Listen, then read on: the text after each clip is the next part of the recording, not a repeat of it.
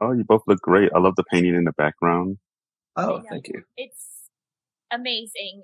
And when you see it in person, it's just even more moving, the details. Yeah, I can't wait to see it. Like I can tell it's huge. It's bigger than I expected. Larger than I expected. I was about to say it was bigger than Jeremy. Put a hitch in my plans. I thought it was going to be easy to ship. It it wasn't. but, uh, but, that's that's part of the story and part that's of that right. persistence and perseverance. So shall we just jump right into the conversation? Sure, ready when y'all are. Perfect. Well, I would love for you two to introduce yourselves. Okay. Katy, you first. well, um, hi, my name is Katy Morlas Shannon. I'm a historian. I have my master's degree in history from LSU. Um, I got that in 2005 and I've been a professional historian ever since, working at various um, plantation historic sites, including Whitney Plantation in the early days, uh, Laura Plantation for many years. I did a um, exhibit on the enslaved community there, and now I'm at Evergreen Plantation, where I've created a database of over 400 enslaved individuals on the plantation and regularly write biographies of different people enslaved on the plantation. And I was just so honored when my cousin Jeremy asked me That's to be true. part of this project. So actually, people are saying that your volume is a bit low. So could you? Oh, can you hear me now better? It's a little better. Okay. All right. Better now? That's, yeah. Perfect. Okay. I have to hold it closer. Do you want me to do that all again or what? No, no, no. I think it's fine. I think everyone heard it. Yeah. so take it away, cousin Jeremy. okay. Well, my name is Jeremy. I'm a historian, a collector with a special focus on portraiture. Um, and uh, I think this is this is pretty exciting because this is a piece that I saw early on that uh, was always on my mind, and I'm happy to have been able to return it to Louisiana.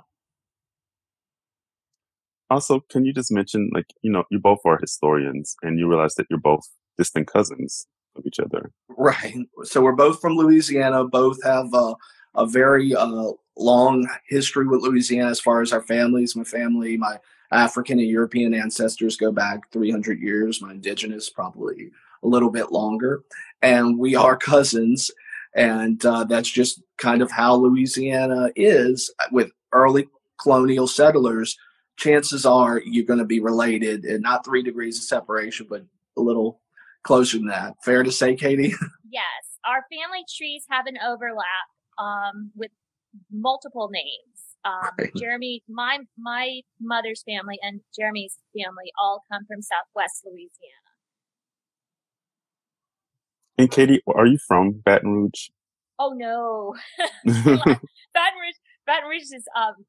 I went to school in Baton Rouge. I am a New Orleans native. Um, I have um, I live now in my hometown of Mandeville, just across the lake, and we have a little hobby farm with goats and chickens. But New Orleans is what I consider home. Gotcha. Well, we're all from Louisiana here. There you yeah. go. we all spent some time in Baton Rouge. Right. Go Tigers. go Tigers. Exactly. Um, so yeah, like, I mean, the focus of this conversation is the painting that's behind you, Jeremy. Um, and I would love for you to just to say, like, when did you first encounter this painting and how did you first encounter it? So the first time I saw this painting was in 2013.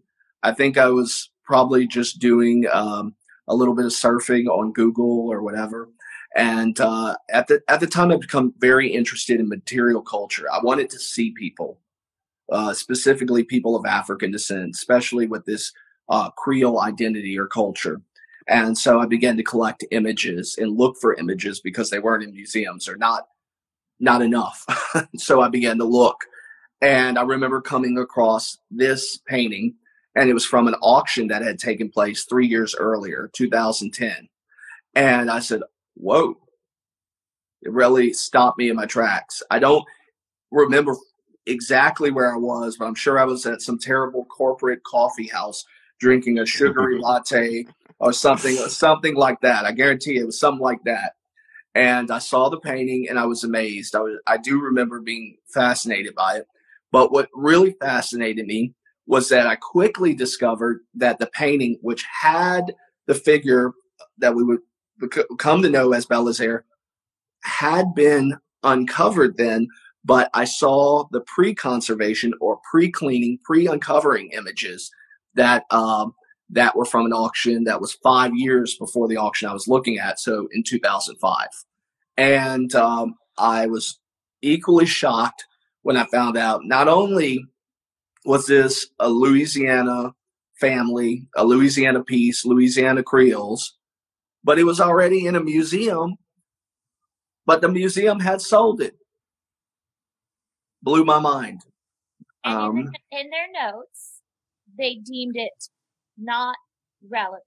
Those are the exact quote.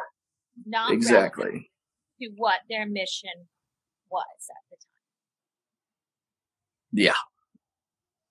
So we're not going to name any names in this conversation, but if you do your research, you can figure out oh. which institutions we're talking about. Okay, I didn't know we were naming names. Oh, I was, we can. I was just, I, I, mean, I had a whole bag of tricks over here. I was just going to empty out. Uh, no, you can find out pretty easily. It's a major one. We have some great institutions in Louisiana, and then we have some that uh, I think you know. I think all institutions, especially museums right now, can uh, are learning and trying to catch up. And we we are a little behind with some of our institutions. Let's leave it at that. That's our, fair. Our goal is not to vilify anyone, but to draw attention to times when opportunities were lost. Right. people could have done the right thing and unfortunately circumstances just led to things slipping through the cracks. And so what our mission is is to make sure that doesn't happen again. And when museums say, well, we don't have people of color or um, it's difficult for us to show diversity on our walls. Let's make sure that when they have the opportunity to do so, they take advantage of it. And let's also acknowledge that it's, it might be hard, but it's not as hard as, the, as it has previously been thought. Right. Jeremy? No, that's absolutely true. And I think it's easy to make excuses. Um, uh, in this case, we know that there were several instances when uh, uh, some attention and a little bit of research should have been done. And uh, it's really negligence, in my opinion, and it's uh, really just inexcusable. Um, but I made that pretty clear because I was on the accessions board of this museum. And uh, after dealing with them, even um, in getting the files about this painting, I could no longer align myself with that museum, and um, you know, I just couldn't. So, so someone watching their handle is "Don't drink paint water." Um, asked, was it deemed not relevant after the fourth figure was uncovered or before? So, so this was before. So the museum took on well, well, well, but it the figure had not been uncovered. However, they were aware that there multiple art experts had told them there was an, a hidden figure in the painting and the descendant herself who donated the painting said there was an enslaved person Right. And it was the subject of a 1972 Times Picayune article that also mentioned there was an enslaved person. So what I what we found after looking at the files of the museum is virtually every mention of this painting, every single description mentions the covered figure in the back and it says large. Now this is a large painting and the figure is significant. So it was it was pretty obvious. So they deemed it irrelevant or uh, no longer relevant to whatever their mission was. Um, but that's very confusing because that was in uh, the end of 2004. It would sell in February 2005 also strange to me is the fact that they sold it in New York out of region. So that's they only sent two pieces. Now they deaccessioned, from what I understand, 140 pieces that year. I'd love to see that list. They wouldn't give it to me. Mm-hmm. Um, yeah, but they they sent two pieces to New York, and I find that very strange because Why would you send a Louisiana piece to New York to be sold uh, when you when one of the reasons they said they were getting rid of this is because they were going to allow other institutions to focus on Louisiana material culture. So it's kind of strange they sold it out of region, in my opinion.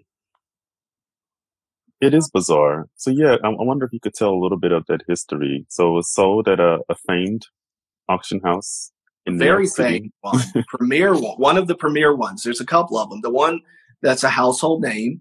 Um, it's sold for a significant amount of money, not, nothing uh, low, seven thousand dollars. And you may say, well, that's not too crazy for an auction house like that. Well, but the painting was uncleaned. Um, it had some ta- uh, one tear and a few little uh, miscellaneous little issues, and it had no frame. So you know, it's it kind of it got quite a sum when you consider the the so-called condition, um, which the museum says was in terrible condition, but uh, it only has one tear in the back, and we know that because it's been lined, and the lining is where you apply uh, a, a support on the back of the canvas, and it's a clear lining so we can really see the original canvas still, which is great. So it sold for $7,000 about to a dealer. Um, the dealer then decided to put in the investment and have the painting cleaned. It was cleaned in Virginia, and uh, he con- he then cons- and they uncovered the figure. They had no idea who any of the people were, and that's one of the strangest things I've talked to Katy about. Is the family had no idea who their own people were, but did remember there was a covered up enslaved person that's strange. So they didn't remember any of the children, but they did remember, oh, yeah, there is a cover up person underneath. So that person was uncovered. The person we would later learn was Belizaire, and it was consigned at an auction but failed to sell. That just happens sometimes. This was in 2010. From then on, it was sold privately by the dealer. And that, when something is sold privately, it could be anywhere. So that's part of the uh, astonishing thing about being able to find it. And Jeremy was persistent and tenacious and just doggedly pursued this painting, hit obstacle after obstacle, True. and continued to try to find it because he was, felt so deeply that it belonged back in Louisiana and that we needed to know its story. So that just, we should all be very, very proud of that. Thank you.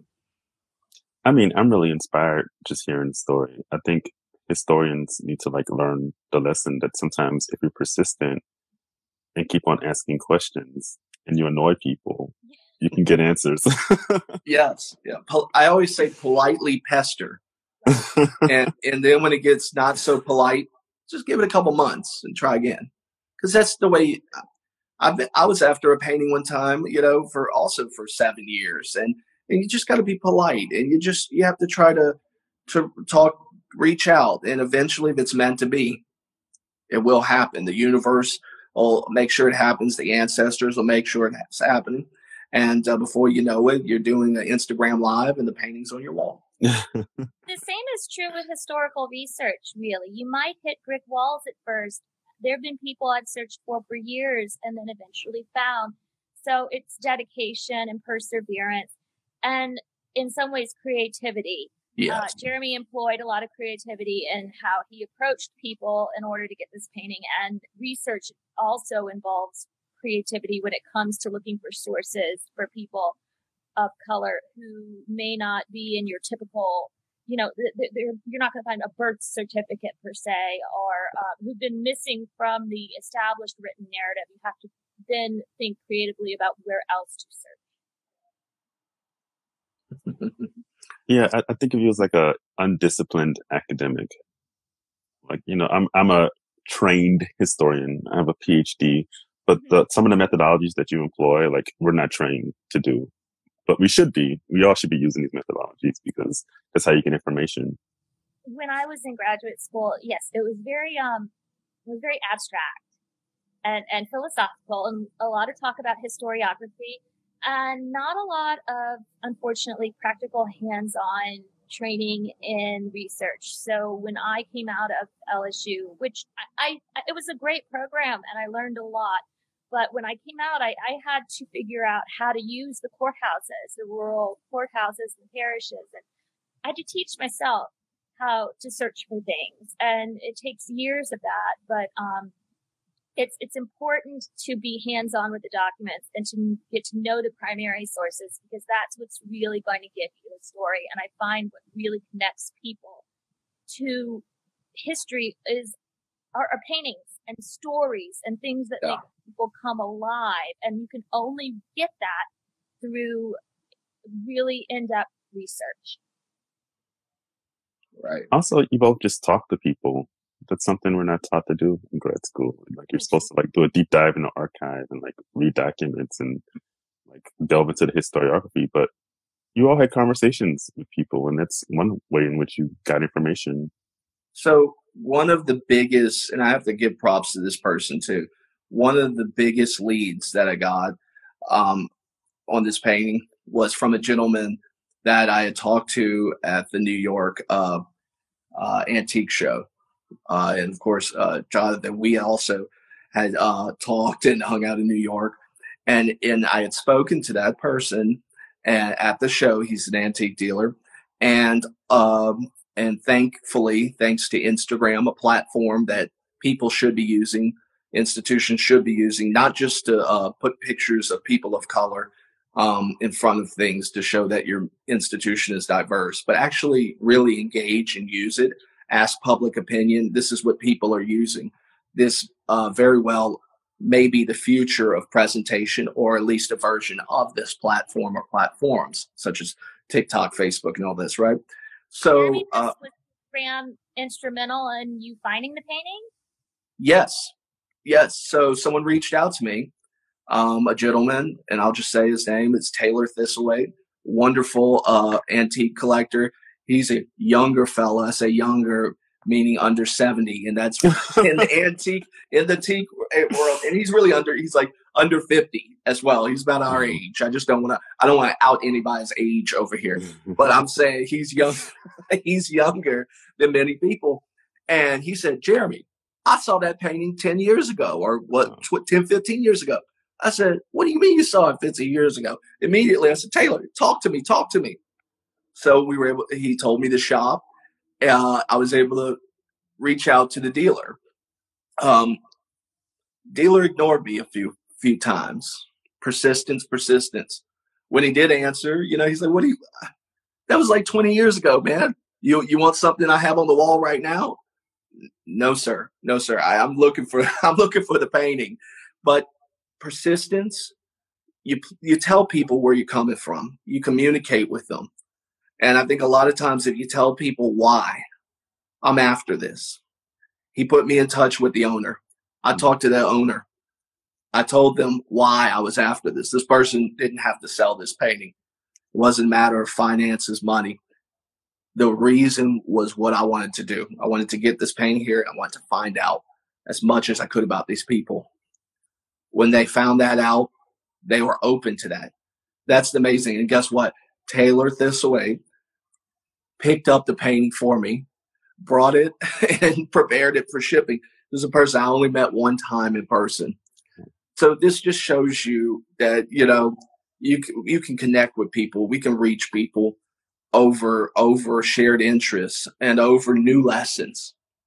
It's a I mean this story is a story of many people coming together. And this is the story of a mission, of a calling, of something we have all recognized needs to be made right. And we'll, we are encountering people who are working together to do that. In this world where things can be so dark and bleak, it is wonderful to see that there are people who are passionate about making sure that there's redemption and justice. Yes. And there's also other people who are want to stand in the way of progress um, and it's, I don't think it's as malicious as, oh, they don't want Belizaire known, but it's, they feel uncertain in their position. They feel uncomfortable. They are threatened by many different things. And so, uh, they are very, very interested in keeping others where they are because they feel that they are too close for comfort. And uh, I think we can leave it at that. That's a nice way of saying. That's a very southern way of saying this, huh? I, I think you're right about the painting being uncomfortable to a certain generation of people. Frankly, to every generation of, I would say, of most people in Louisiana up until oh, yeah. ours. Um, yes. Yes. Yeah, I agree with that. So I have to shout out someone who's currently watching right now. Her name is Serena Lee. She runs the Instagram account Georgian Diaspora. Oh yeah, I love that one. She's great. Awesome. Love Serena. Hi, Serena.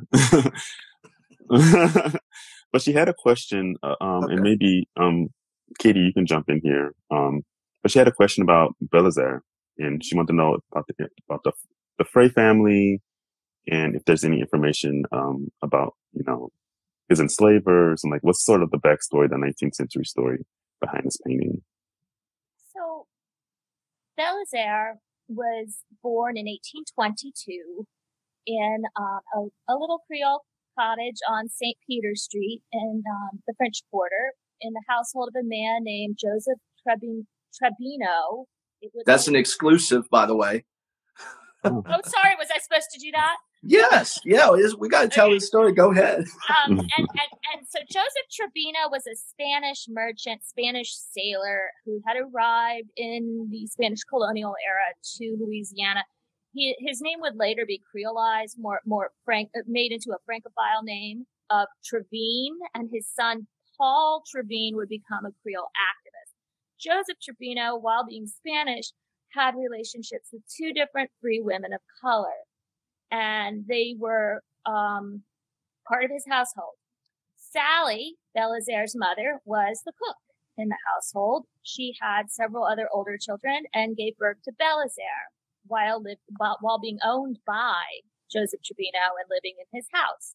Now, Sally was an American.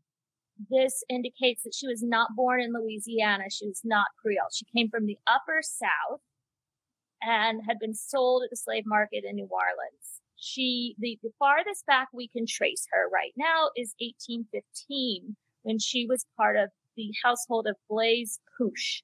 Blaise Pouche was the colonial jailer. He was continued to be the jailer in the early American era, and he was he was um, a brutal, rather cruel person, as one would have to be to be the jailer yeah. in colonial Louisiana. And he dealt a great deal with enslaved individuals who had committed crimes or run away. So his was not, I would imagine, a very easy household in which to live. Sally and her older children were sold first to, uh, well, they were sold to several other families before they were sold to Trevino. All of Sally's older children were considered Negroes or Negresses, meaning of full African ancestry. Only Belizaire is listed as mulatto or a mixed racial ancestry, her youngest child. Joseph Trebino sold Belizaire and Sally and his sister Rose together in 1820, late 1822, early 1823 to a free woman of color named Jeanette Levine. Um, they were the children were sold with the mother rose and belizaire were sold with their mother because they were under the age of 10 and in louisiana law the ch- any ch- enslaved child under the age of 10 had to be sold with their mother. So then they became the property of jeanette levine. In 1828 she sold them to frederick frey. So sally the cook and then goes in and, and her young children, Belizaire is now six years old, go into the Frederick Frey's household. Frederick Frey was a merchant from Germany. He was also the consul to the United States from Bremen and uh, sent to New Orleans. He would later become an important banker for, he was the head of Union Bank in New Orleans, um, was very much involved in like speculation, um, badly impacted by the panic of 1837 and the financial crisis that occurred then. His wife was Coralie Donnois. Coralie Donnois was from a very distinguished elite old Creole family who had been in New Orleans for generations. You may have heard of Destrehan, Louisiana. That was one of his wife's ancestors, or well, Destrehan, the brother of John Noel, right? Yeah, that was her grandfather, I believe. So, so Coralie Donwa married Frederick Frey. They owned a home in the French Quarter on Royal Street, where the Monteleone Hotel is now located. And um, they were just very, very wealthy, very wealthy, um, and in in elite circles. And that was um, Frederick Frey commissioned the painting in 1837 when Belizaire was around 15 years old. His oldest children, Elizabeth, um, Frederick, and Leontine, were also pictured in the painting. And what's incredibly tragic is that um, it, they did not live past the year, which the, the daughters did not survive the year. They both died nine days apart at the end of 1837, in December 1837, possibly um, from the yellow fever epidemic. The little boy, Frederick, he died at the age of 14 some years later. The only person pictured in the portrait who survived is Belizaire. And he was six when he went into the Frey household. He is on ship manifests accompanying Frederick Frey on business trips. He was very close to the family, remained in the Frey household most of his adulthood. In 1841, Frey had, a, had accrued so many debts that he had to uh, appease his creditors by liquidating his assets. And so his property was auctioned off, including Sally and Belizaire. And they were sold on the auction block at the St. Louis Hotel um, in in the French Quarter, the giant rotunda. Um, it's a very iconic picture. They were sold there. Coralie Donwa Frey bought them with her own money, which she could do because in Louisiana, women under the Napoleonic Code and civil law were allowed to have their own money, and his creditors couldn't go after her. She bought them back, brought them back into the household, and it was not until 1856 that uh, when he was around 34 years old that he was sold, likely because um, Coralie was widowed and in very reduced economic circumstances. He was sold to Lezin Becnel of Evergreen Plantation and brought out to St. John the Baptist Parish, a very rural community where he served in a household there as a domestic. So that's that's his um, historical record, his story. And that would have been very different than how he grew up, considering he grew up in the French Quarter and for you know all of his life urban. So this would have been, I mean, just imagine, you know, a major disruptor and something he would have definitely uh, had to adjust to. Um, even as an enslaved individual, there were a new world to navigate. So, do you know if he served as an enslaved domestic or like a okay? He did. He's listed in 1856 in the family's papers under the um, domestics.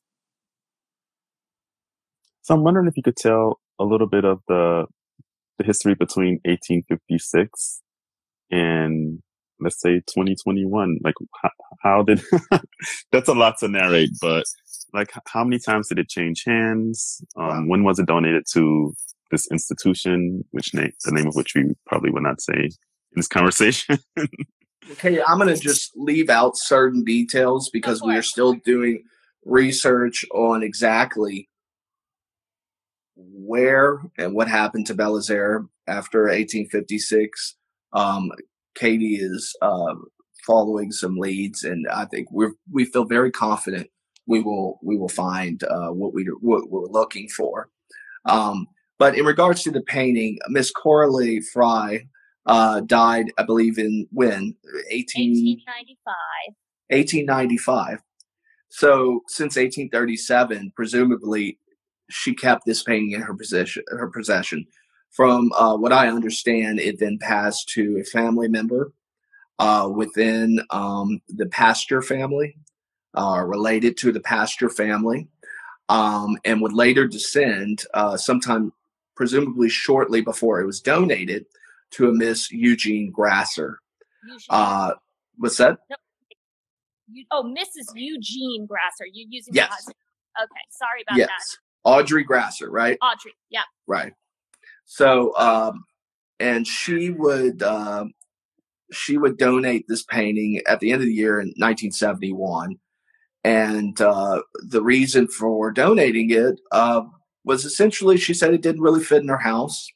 Um, it didn't fit in her son's lifestyle at the time, and I I spoke to the family. They were living on a houseboat, so you know I guess it didn't quite fit, or maybe didn't go with the aesthetic. you know, so uh, okay, well, what do you do?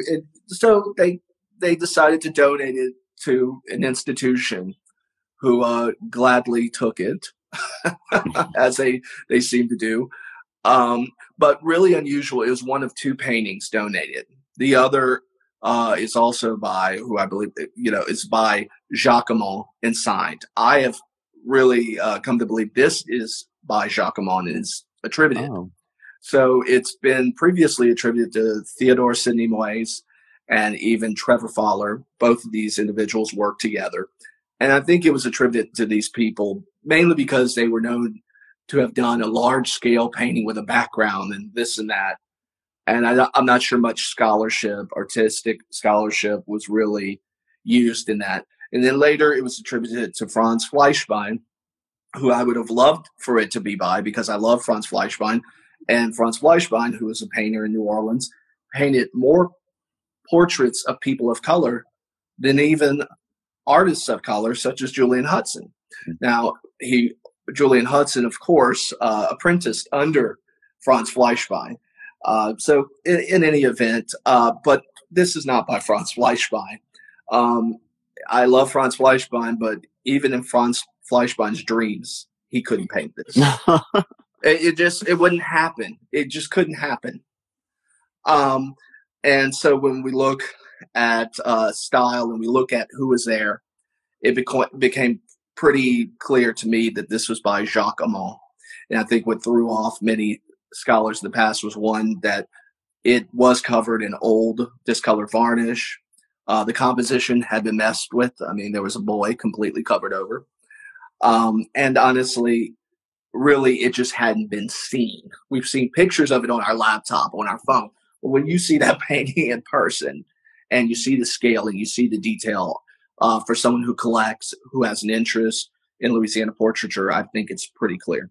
So, in any event, they donate this uh, two paintings. One is a portrait of a lady, which we know where that is now too. It's at the Historic New Orleans Collection. It is signed by Jacques Amans. For whatever reason, this institution misses the signature on that painting. Um, decides to sell it less than nine years later. Um, and uh, they decide to keep this for about 30 years um, until they deem it uh, to be what was the exact wording, Katy? I love that. No, uh, not relevant. No longer relevant. No longer relevant. So they were moving on to a global perspective. Right. That's what the lady said to me. She said, Jeremy, at the time we were worried about global interest and objects of a global interest. And I remind her, I said, well, you know, slavery occurred everywhere in the globe except for Antarctica, and that's because that's the only place where we don't have a permanent population. And sadly, continues to occur. Yes, and yes, good point, Katy. Continuing yeah. to no. Right. So that wasn't a good conversation, and that was the day I um, I had to leave. So, you know, I have a question about the composition, and you just blew my mind by saying that it's probably by Jacques Amans. Yes. But why would a painter include an enslaved domestic in a portrait? Are there other examples of paintings like this?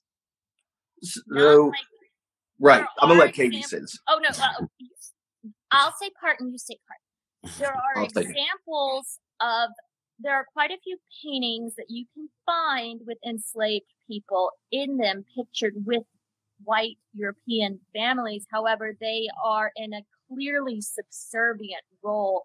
They are um, very stereotyped in certain uh, postures and right. um, holding certain things that would indicate their status being less than and that were more like stock caricatures, not in the degree of um, this is as much a portrait of him, of Belizaire, as it is of the three children.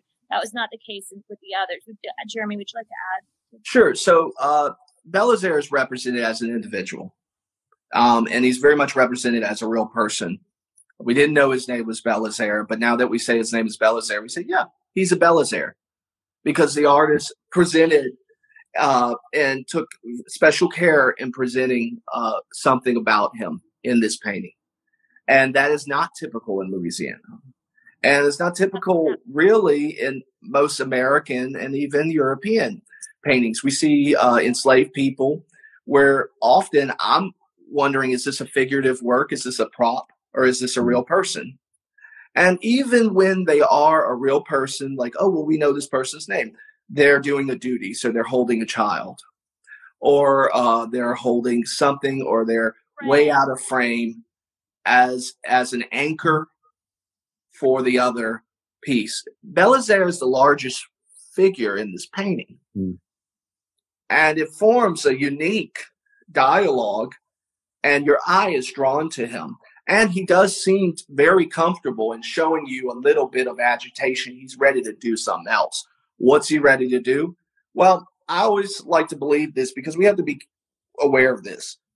One very important aspect about this painting there's no enslavers in this painting. Hmm. All of these people are innocent, they are children. Okay? And they did not grow up to be enslavers. Hmm. So, uh, in that way, their innocence is preserved. And uh, they all are in this situation okay, in this uh, you know this disgusting situation under the umbrella of uh, institutionalized slavery. Um, but you're seeing a unique moment captured. Um, let's not let's not um, start smelling roses. Let's not talk about beautiful things. Start sipping mint juleps, or you know have these ideas of of whatever uh, equality. No, uh, Belizaire was not equal.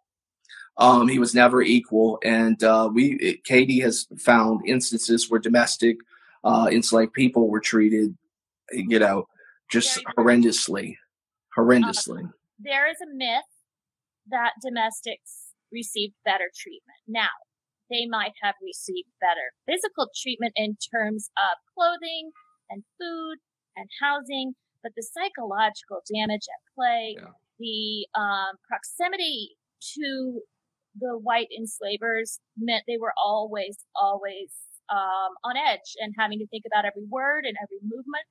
For women, there was the increased risk of rape, and um, there was the psychological um, just difficulties of we love you, we dote on you, you're part of the family, except we can sell you away at any time. And if you slip up or do anything wrong, we can beat you. So, I mean, that's just really, really messed up in yeah. your mind. Uh, how did he navigate the Belizaire is our playmate? He's so special, and look how smart Belizaire is. And let's put him in the picture with, all right, Belizaire, you get out of line, you say the wrong thing, you do the wrong thing, you're going to be sold or beat. So there was no life was not easier as an enslaved domestic. It was just right. different. And I, I want to say one last thing uh, about as far as composition uh, compared to other works. Often people speak of the portrait of Dido Belle hmm. and say, well, look, Dido Belle is portrayed as an equal. I've never seen that. I love the painting. I think it's a beautiful painting. I think the story is fascinating. But Dido is holding a tray. Hmm. Right.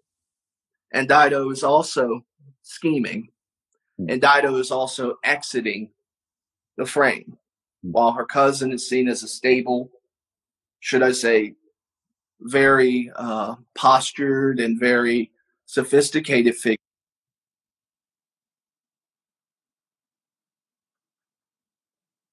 Bothered me. Can you hear me? Oh, you, for a second, you went out, but now I hear you.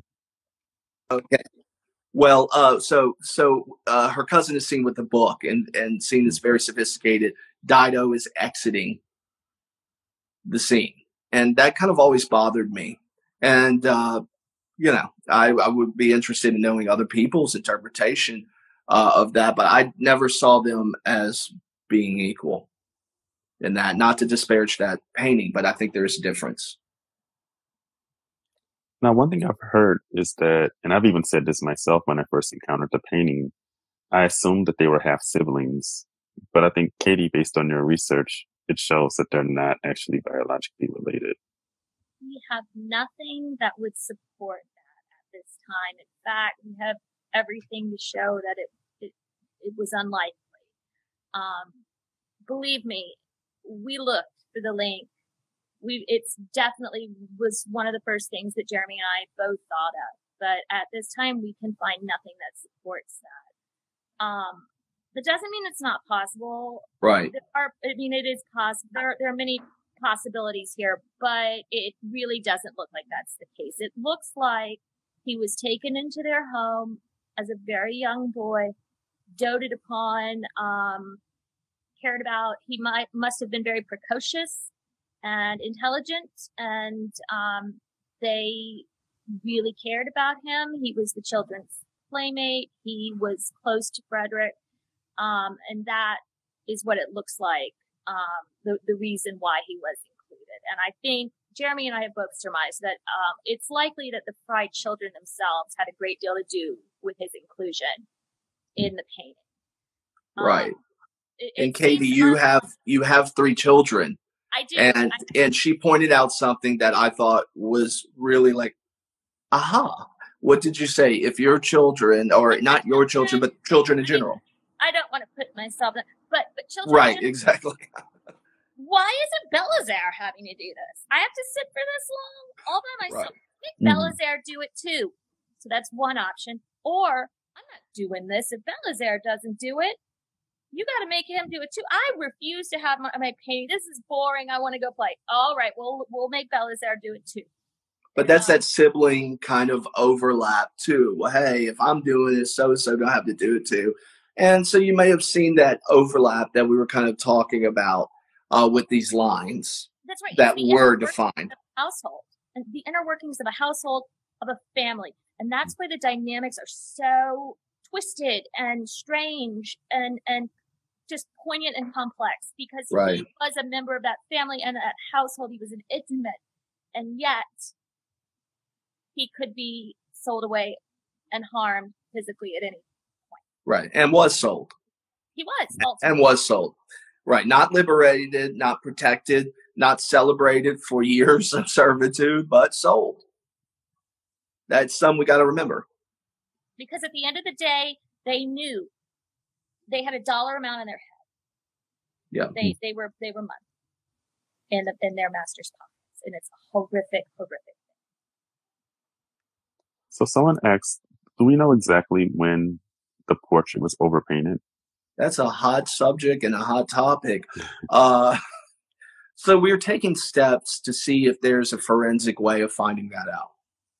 Um, I have my suspicions um, because we were I did some research on artists in uh, New Orleans in proximity to the family who were restoring paintings at the time.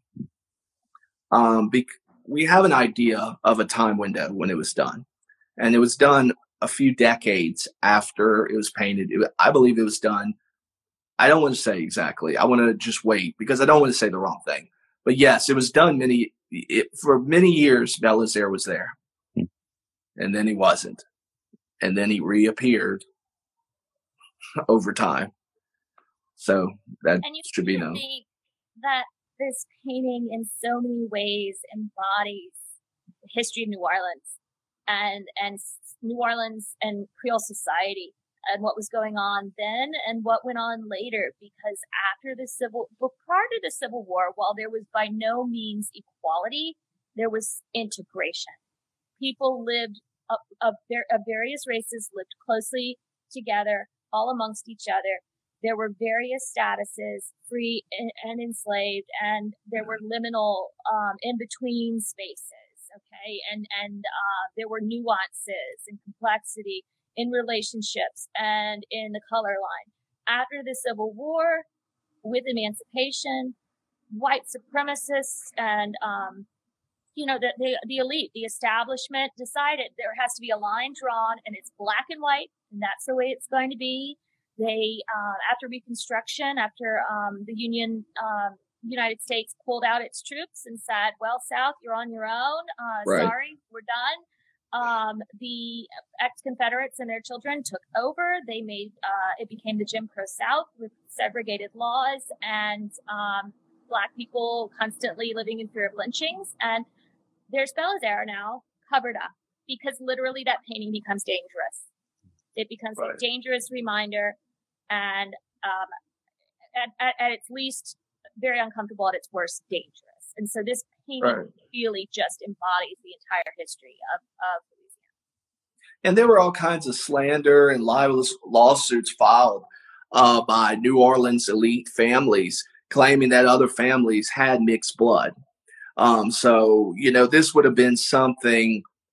It could have been covered up, as as she said, uh, for many different reasons during different times in New Orleans history. Um, but it was certainly was a threat, and that's not to give a pass for them covering up Belizaire. No. Um, but uh, there are there are reasons why these things happen. The problem is he was kept covered up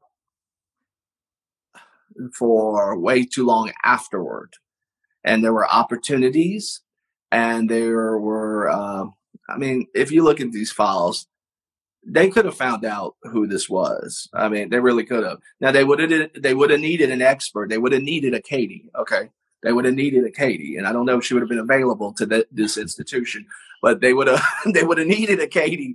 But you could have found out uh, who it was because they had some very key information scribbled, the names of the family that we had to go digging for.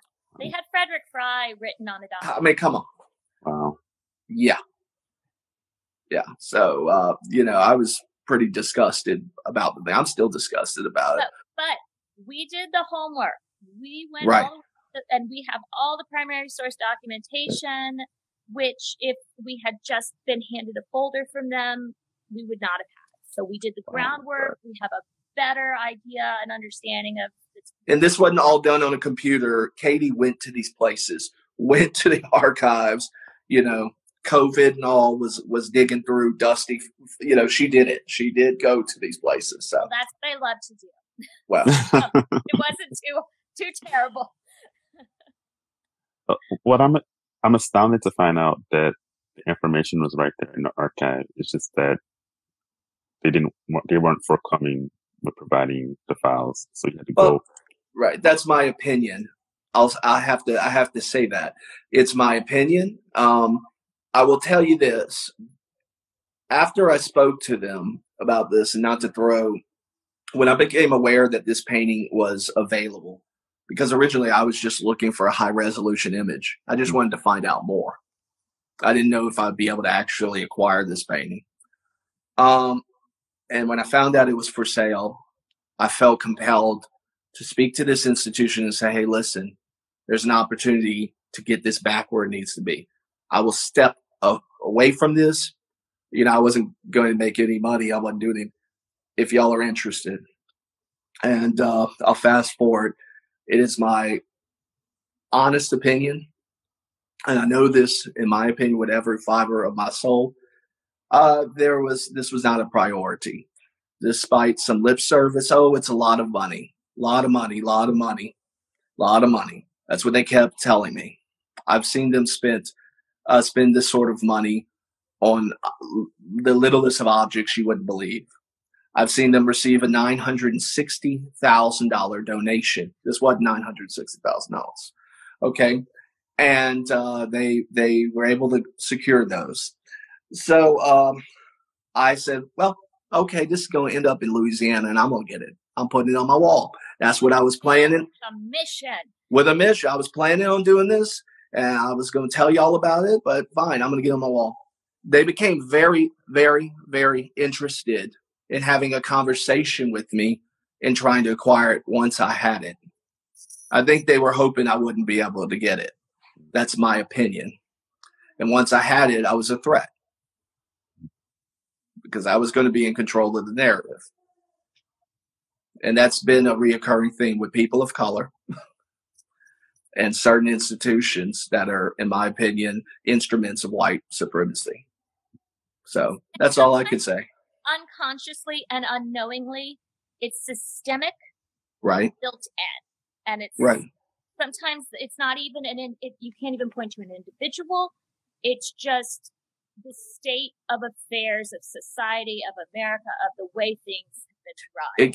It, Katy, we won't get into specifics, but it's still happening. People are asking. Uh, people are sending Katy emails asking about art and all sorts of things because she's involved. let's get it straight. Jeremy, see, I'm pointing at him. This guy right here. He is the art expert. He knows about all the drawings and the paintings and the, the stuff. I I do the history and the documentation, the primary source research. I'm paper with writing on it. He's drawings. Okay? I'm the art I'm the art guy, but they saw Katy and they said, "No way, this dude knows anything. Let me go reach out to her." But luckily, we don't. We're not worried about we that. we operate talk, like that. We talked about this early on. We're like, we're not going to allow the, any of this to cause problems because that's not what we're here for. This isn't about ego. This nope. is about helping make things better. Right. Are we naming the museum or not? These comments. Um, nah. It's really easy to find. Google search right there in the newspaper. Y'all, I, I posted I posted my resignation on my story. was, there's no I'm not being secretive about this. I just you know it's just not it's not the forum. They the villain the villain in my opinion will be revealed. Well, the villain is bigger than any one institution, isn't it? It is, though. Mm. It yeah. is, and we said that before. societal. It is yep. the the sin that our country does not want to. It's north, north and south. It's across the board. It's everywhere. This is a, a, an issue that until we confront head on, will continue. Uh oh, people are dropping clues. Look at that. well, maybe we can end on this question um, because, I mean, there might be some museum professionals watching right now. And so, what can we all do um, to do better to make sure this doesn't happen again. Well, Katy, I'll let you start with that, um, and maybe I'll I finish. Want you to fi- I want you to finish because I I think that you could speak to this better than I. What I would say for me is recognize just just first of all recognize the value in what you have. Do a little bit of the legwork and the research. It doesn't take as much as you might think and find someone who can if, if if you yourself don't know how. What I love about this is that Jeremy and I have, are experts in two different fields, and yet we came together to present a narrative and to discover this history together. It takes multiple, we're never going to understand slavery or I mean, we'll never understand it, but but have even the slightest glimmer of comprehension of it unless we work together as historians and art art experts and, and archaeologists and folklorists, like all of the disciplines need to come together and work together in order to tell this story. And so it needs need not be, uh, you know, well, I'm an art, uh, I'm an art curator, curator, and that's what I do. I don't do history. We'll find someone who does. Would be what I would say. Now, Jeremy, you finish us off with the big bang insight, okay? Oh no, that's too much. That's too much. Let me just say this. Let me. I will. I will say this. Um, we need to be all aware of our bias. Um, we all we all have been guilty of being dismissive against people that look like us who don't look like us against our own family members. I mean, let's just be honest. Yeah. So let's be aware of that and let's try to put that in check. Um, you never know what somebody can bring to the table if you don't invite them over for dinner. Mm-hmm. Okay. Um, also, I want to let you know just because you invite them over for dinner, you need to make sure that you have a seat at the table. Okay, I never had a seat at the table. It's not just a token seat, and it's Thank not you. just yes. to show look who we have. It's right. real, meaningful conversation. You matter. Your story matters. Diversity matters. That's what we need. Right, exactly. Not a fold up chair with a TV tray and a different plastic Because that's what I had. That's what I had at two institutions. They said I was invited, but but but the point is this: you never know what somebody can bring, and they don't have to have the budget to buy paintings. They don't have to be a collector like I am, and they don't have to have a specialized focus. Um, your duty, I think, all of our duty is to try to see how we can connect with people and work together because you never know what can happen and what will happen when you try to do these unconventional things to make incredible things happen. And so I'll just say that and leave it. And also uh, to do shamelessly plug, but Katy has an important, important book coming up. Uh, again, Katy has been doing this sort of research before it was cool. I hate to say that, but it's very in vogue now. We know a lot of people are interested in the subject, especially marginalized people, people of African descent. She's been doing this for 20 plus years. So this is not something she just started. Uh, is that okay? That would be okay with you, Jonathan? Oh, yeah. I was doing this research when they were still wearing hoop skirts at Oak Alley, y'all. Yeah, high fructose corn syrup in their uh in Yeah. their mint julep in the middle of a, a sugar cane field. But yeah, the book is called Antoine of Oak Alley. It's about the enslaved gardener uh, at Oak Alley who was the first to propagate the pecan tree, which would lead to com- the commercialization of the pecan industry.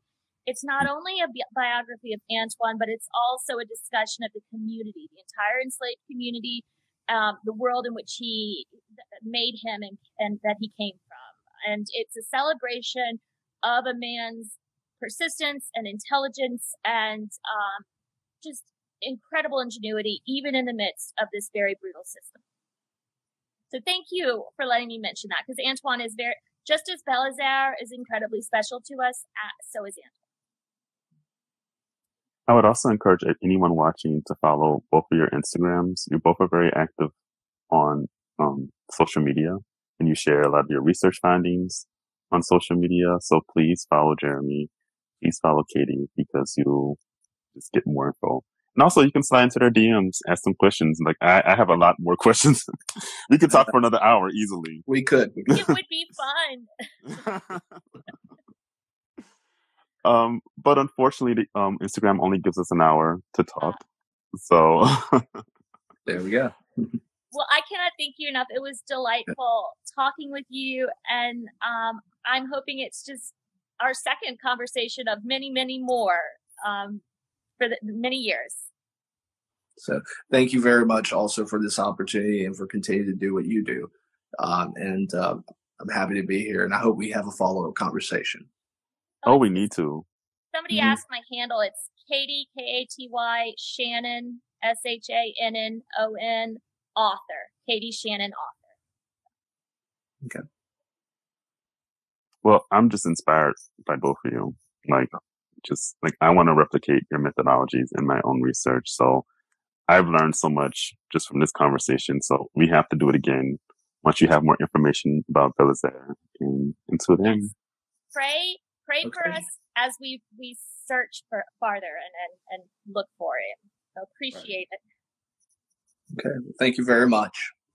Thank you. best of luck in your research. And of course, it's a continued conversation. So we'll be in contact.